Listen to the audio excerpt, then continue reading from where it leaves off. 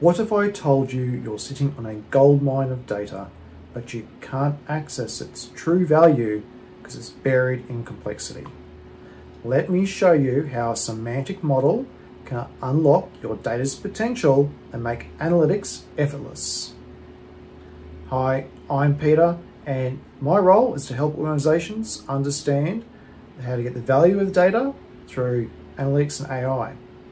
And a semantic model acts as a translator between your raw data, your data sources, and the end user, typically your business user.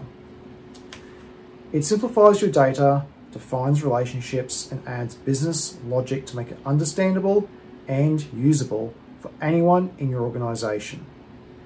Whether you're building dashboards in Power BI or working with Microsoft Fabric, semantic models ensure everyone speaks the same data language. Let's see what a semantic model does. First is data organization. It organizes raw data into meaningful tables and defines how easily they relate to each other. Think of it like creating a map so you can navigate your data easily.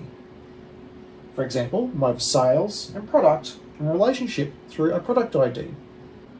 Next we have the business logic includes pre-built metrics and calculations, like a total revenue and average profit. These metrics are consistent, there's no guessing or manual work every time you analyse your data. We can define measures, like a total sales is a price times quantity. Next, we have user-friendly names in our semantic model. Forget cryptic database terms like col123. Semantic models allow you to rename columns and metrics into business-friendly language, like revenue or customer count, so it's easy to understand. So why does a semantic model matter?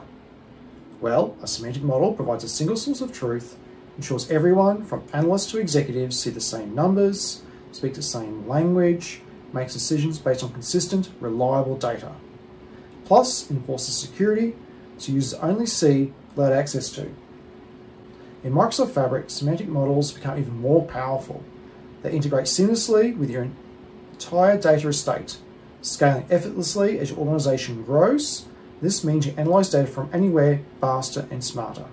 So in a simplified example of our data coming in, to build the semantic model, to the outcomes for users, you see how your data can work for you, not the other way around. So start thinking about how you build a semantic model it's a secret to turn complex data into actual insights.